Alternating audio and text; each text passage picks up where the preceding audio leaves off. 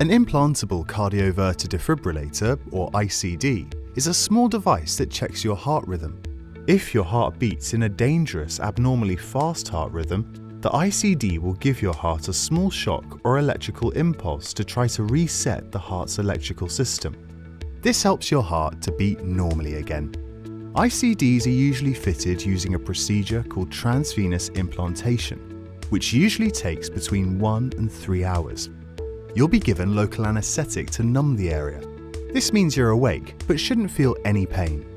A small cut, about 5 to 6 centimeters, is made on the left side of your chest. The wires that connect the ICD to your heart will be put into a vein and guided to your heart with the help of an X-ray.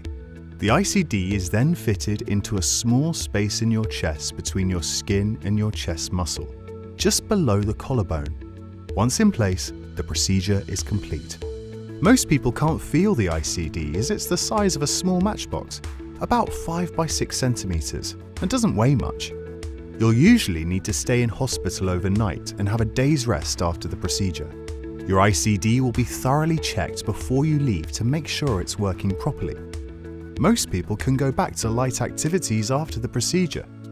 An ICD battery usually lasts between 4 and 6 years. When the battery is running low, you'll need to go back into hospital and have a new ICD box fitted.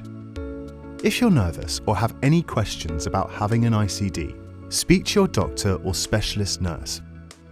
For more information on having an ICD, search bhf.org.uk forward slash ICD.